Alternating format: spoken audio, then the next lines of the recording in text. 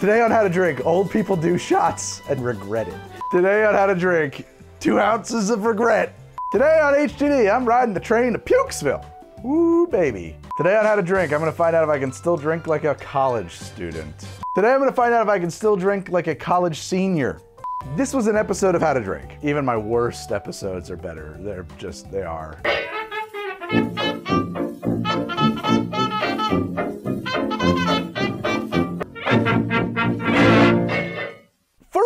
Long time, there has been a poster in Meredith's mind that she saw one time of the shots. And she thought that's a good idea for an episode. And I have resisted. Until now, we're taking a look at the shots, the frat shots. Uh, I've got a list of drinks in front of me, Meredith. Is there any order to these? Should I just start at the top and roll right along? Yep. Okay. We're gonna do a B52. Is it supposed to be on fire? That's, yep. You ever go to any frat parties? Nope. I've been to a couple. I hated every single one. All right, so we're gonna do three quarters of an ounce of Kahlua, three quarters of an ounce of uh, Bailey's, oh boy, and then three quarters of an ounce of, of Grand Marnier. And I'm supposed to somehow set it on fire. I don't think you need to measure this. I think you could just layer it. Fair enough. We'll just go to the first line. Okay, Kahlua. So here we go with the Baileys to layer. What the hell do you think that makes this a B52? I don't know. By the way, B52s, slept on. Phenomenal band. I honestly, I hold B52s, and the B52s, much higher esteem for me than Talking Heads. Why do I put them in the same boat? I just do. I feel like the, the Talking Heads are like the B52s, but they took themselves too seriously. All right, now our last is this Grand Marnier. I don't believe that's gonna catch fire. I'm gonna try. Get a little flamey. So it's on fire. We got it on fire. I did not think that was gonna burn. It's only 40 proof up top there. It's a little, it's kind of invisible. I hope it's out. I'm gonna make sure it's out because I'm a little bit nervous about that. There it is, the B52, served on fire for some reason. I guess just whatever alcohol's in there, you have to reduce it a little bit. I bet this will be delicious. I bet this is gonna be a really good milkshake type thing. I mean, I have no doubt about that. It certainly won't be sophisticated. Yeah, delicious. My prediction was correct. It was a lot. That was a big shot. That was a big boy shot. So the B52, it, I was right. It's a very, it's a sweet, coffee, creamy thing. I don't taste any orange in it. I, I, I don't know that the um, Grand Marnier really did anything. It's very sweet. What can I say, Mayor? What do you want me to say about it? This was your idea. Is there any merit to it? No, no, there's no merit to it. Category of drinking that people are familiar. It literally with. tastes like something you'd get in the drive-through at Chick-fil-A. like a milkshake. It tastes like a milkshake. Yeah. Like a coffee milkshake or something like that. Like a coffee ice cream milkshake. I like coffee ice cream. Coffee ice cream is good ice cream. All right, we're doing an Alabama Slammer next. Let's do it. What are we doing? This is a, it's a half an ounce of sloe gin, an ounce of amaretto, an ounce of Southern Comfort, and a little bit of lemon and or lime juice. Okay. Well, I go lime on this one because I'm thinking Southern Comfort, SoCo, and lime, right? So my notes don't really specify. So let's just say a little bit, a little bit of lime.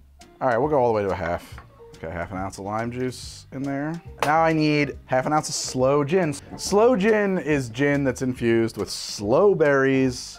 Sloe berries should be kind of bitter and tart. Basically, it's gin that's been made to be pink. So we want a half an ounce of it. My God, it is grenadine red. That is intense. Uh, something tells me that's not all natural. Now we want an ounce of amaretto, and we have kind of the stock standard amaretto, not a fancy one. We're not going up market on these. We're making these the way they would be made in a fraternity. So here we go, one ounce of amaretto. And now one ounce of um, Southern Comfort. Southern Comfort is a, uh, it's, you know what it is, honestly? I realized this recently. It's another version of Rock and Rye. That's what it is. Uh, now I shake it. Now I shake it, dakey do. Get your ice in there. I just said that we're doing these the way they'd be done in a frat, and obviously this is like not. This is overkill. And uh, well, the nice thing about this not being layered is I don't need to drink this whole thing. I can just sip it. So this is apparently an Alabama Slammer. I feel like I gotta say it like that, right? An Alabama Slammer. Okay, that smells like candy. What? So bad. It tastes like a melted cherry snow cone or melted cherry Italian ice. The juice from the bottom of it. I don't think they drink these in Alabama. Something tells me that this drink not all that popular in Alabama. Could be wrong. Alabama Slammer here. Uh, as I said, it just tastes like it looks, honestly. I'm really shocked by that. I didn't think, because like, it's really weird to me that those ingredients, I'm not surprised they add up to something sweet, but I'm surprised they add up to like artificial cherry, like really specifically cherry flavor.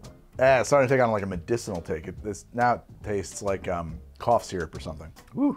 Sloe gin. All the sloe berries used in producing this sloe gin are imported. Certified color added, 45 proof. Man, Jesus. This bottle belongs in the trash. This is some garbage shit. I'm gonna take this Alabama Slammer and slam it right into the garbage and be right back after this with, uh, apparently we're doing a kamikaze is next on my list. Moving on to the kamikaze right after this. Hey there, campers. Ranger Greg here and I'm partnered with Yellowstone Bourbon to take you on a mixological tour of the national parks.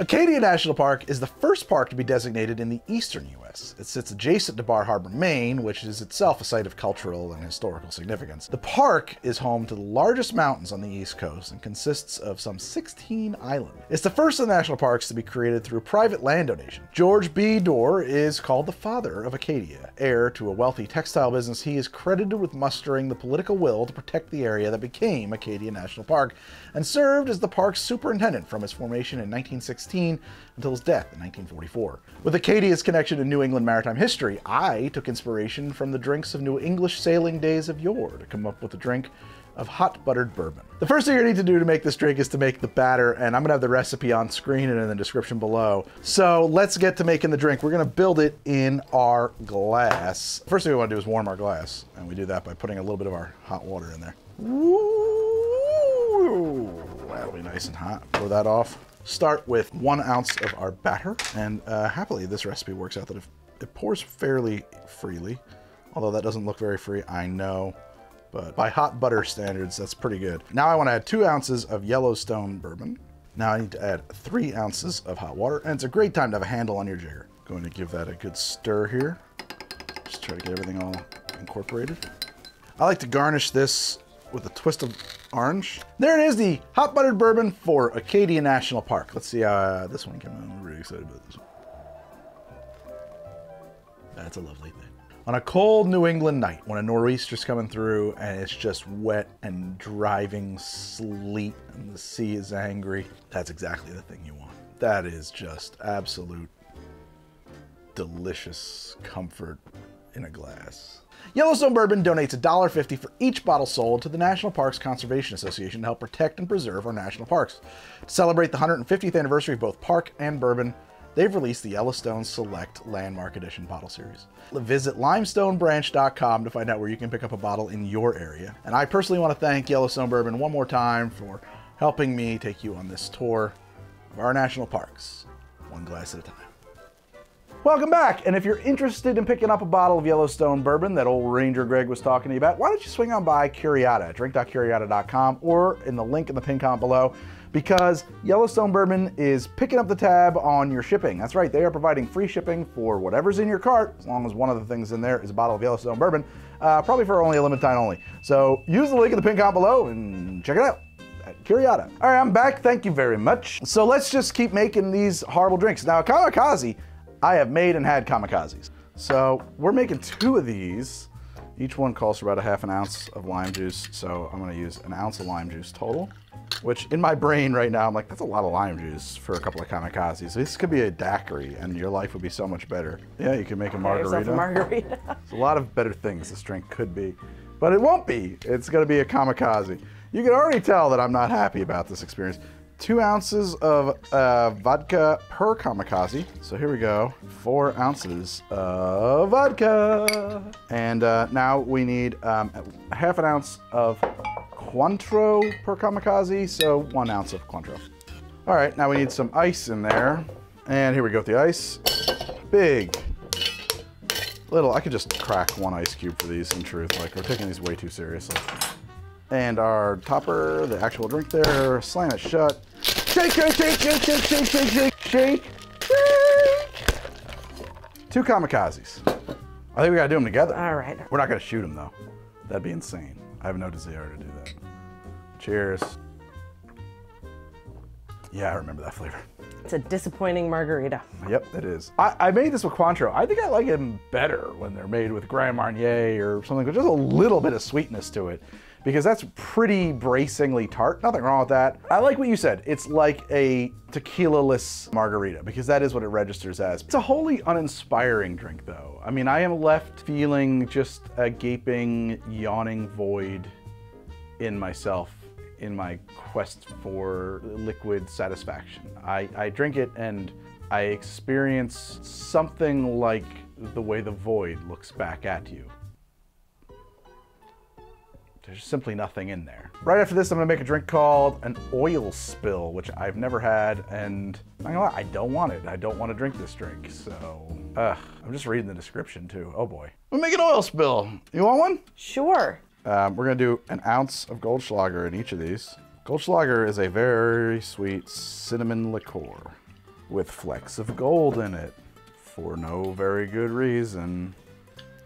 Yep, the gold is edible. Why is it edible? I don't know. I think because it just kind of is. Now a quarter ounce, you know, or just like a drop, whatever, of your blue curacao. And you try to gently slide it in down the side there. Cool, so you get like a, a little gradation, a bit of an ombre. Then you take Jägermeister, and we're gonna float an ounce of Jägermeister on top of this. Glub, glub, glub, glub, glub, says the bottle of Jägermeister. That, of course, is our oil spill. I believe they use these in scientific modeling to see how an oil spill disaster will spread. It's not an unpleasant odor that's in the room right now off of this. You know, the cinnamon, it's, it kind of smells nice. The cinnamon and everything else that's going on there. I don't hate what I'm smelling. I don't feel like you need to shoot that though. I think you can just take a deep sip and try to get all three layers and, you know, a little bit. I don't think you need to drink the whole thing. Cheers. Yeah, I get all the cinnamony. That's a lot better than you'd think. The cinnamon just takes over. Yeah, you don't. You're right. People think that uh, Jaeger is like a really powerful and gross and disgusting thing, but like honestly, no. This is mainly cinnamon, and the blue curacao you taste nothing. All you taste is cinnamon and sweetness. Yeah, I don't know why the Jaeger. Well, the Jaeger's there for the color.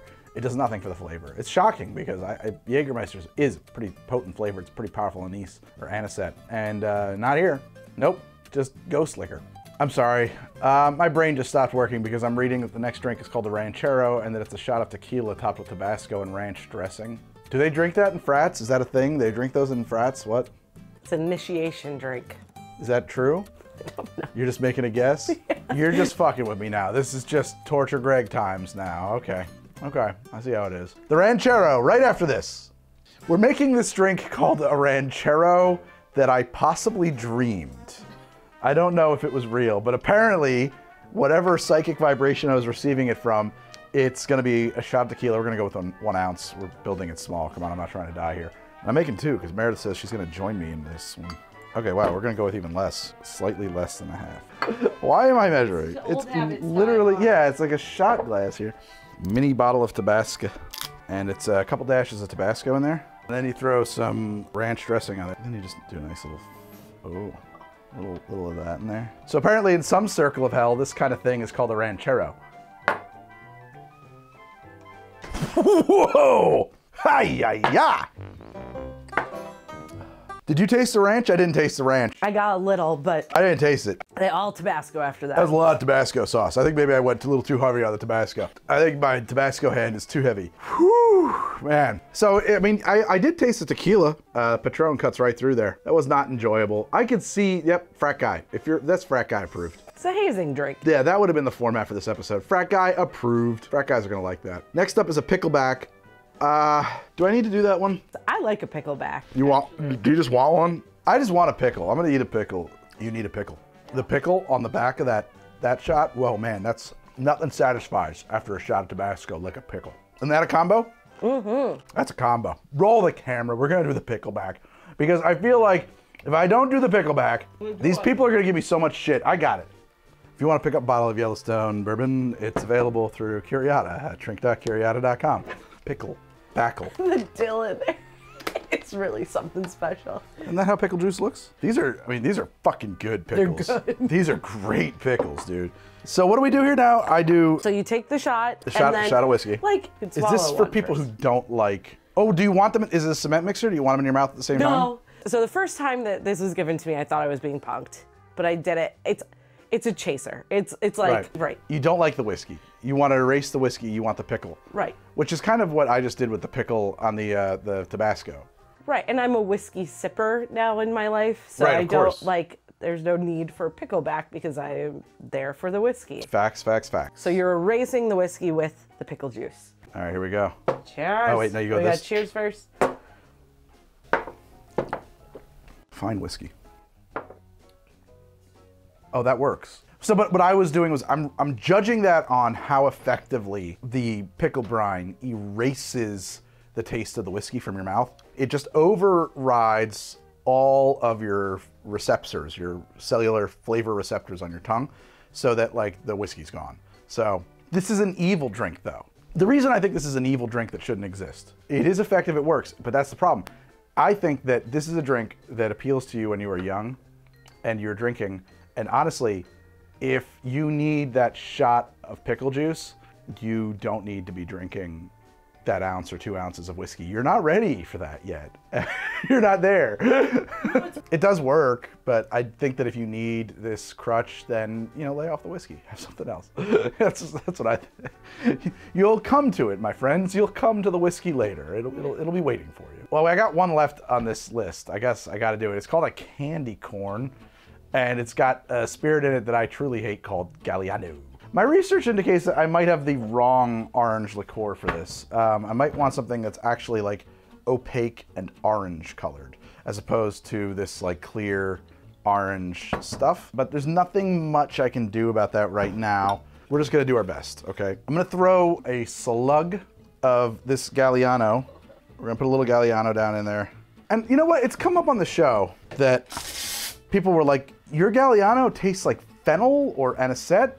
That's crazy. Galliano doesn't taste like that. Galliano tastes like vanilla. And I had just instinctively responded, "Well, this is the original Galliano. Yes, I guess there's a vanilla Galliano out there, but I'm pretty sure that drinks that call for Galliano are calling for Galliano." Um, what I have found out since looking into that, because I didn't actually know anything about Galliano, is that Galliano, in its ridiculous, absurd bottle, it is a fennel and vanilla liqueur. So, for whatever reason, I was very strongly, and Meredith as well, because she said the exact same thing, resonating with the fennel note. I'm gonna try a little bit more of it right now just to see if I can pick up vanilla in this at all. But I mean, if it's vanilla and fennel, I don't know how you guys are getting the vanilla. Because, like, vanilla is so much less potent than fennel. Oh, it's strongly an anisette, but I do see how you guys can how it can be registered as vanilla. There is a vanilla note in there. It's way subtle compared to the anisette, in my opinion, though. And it's pretty sweet. It's pretty sweet and pretty thick. I'm gonna throw just a tiny amount of simple syrup in here. This extra little drop of sugar in here is just gonna help increase the specific gravity, the density of this first layer, so that our next layer will sit on top of it. You know, honestly, I thought it wasn't gonna matter much because I thought my Galliano, that the colors were gonna be too similar, but I'm looking at this and this is actually very strongly yellow. So I actually think we're gonna be fine for these layers. And uh, we're gonna just put in a layer of dry curacao. Is it layering? Uh huh. And now we just top it up with heavy cream because all things are better with heavy cream. And there we have uh, kind of the thing that it's supposed to be. So this should be a ringer for the flavor because the it's Galliano, it's sweet, and it's orange liqueur, and it's heavy cream. The look, I think there's a different orange liqueur that's like ideal for this. That's opaque, not clear, and deeply orange. I think that would probably be better. But we should we should be on it for the flavor. I don't really know what to expect. I don't either. No, it's not candy corn. An alcoholic version of candy corn, maybe. Yep, I could see it. That is the most, that's awful. That is brutal. I mean, that is just like absolutely torturously sweet, thick, and creamy. That's not good to drink for humans. But I do agree. I, I see it as an alcoholic candy corn. And you know what's funny? I never realized this, but I think that maybe there is a slighter, less than this, but a slight element of anisette in candy corn. I never really thought about like what flavor candy corn was because they're just colored. They just call them candy corn because the way they look. They're not corn flavored. Perception and expectations are so important. When you tell me that's a candy corn cocktail, I believe you that it tastes like candy corn. But obviously, if you put them side by side, they don't taste the same. Yeah, what did we learn? I don't know. Like that these exist they're bad. They have no redeeming qualities. I no takeaways at all. I got nothing. I got nothing. Yeah, heart stone, head empty, eyes, cartoon X's. I, I don't I have no thoughts at all about this subject matter at this point. Like these are bad drinks for bad times. And you don't need them. They weren't good. They were the, the best thing that you can say about them is that they are effective. They are alcohol delivery mechanisms that uh, slip right past the unsuspecting lips, which I think is their goal. I don't want them. I don't want them. I don't need them. This was an episode of How to Drink. I, I, you know, it was, and we shot it, and apparently you watched it, and I truly, deeply thank you from the bottom of my heart. I don't think I'm to do it again. I apologize for everything that's come before this moment. So thanks for sticking with it. If you want to gripe at me about the, this episode, go ahead. I'm on Twitter, Instagram, Patreon. Uh, that's the best place to gripe at me. I'm on Twitch and TikTok too. They're down there where the young people are at. The young people. They're at the Twitch and the TikTok. And I'm on there sometimes being old. If you want a better stuff, if you want to see better episodes of HTD, here are four of them that I, I guarantee they're better. I guarantee even my worst episodes are better. They're just, they are. So please, thank you. Enjoy. See you next time on another HTD. Bye bye.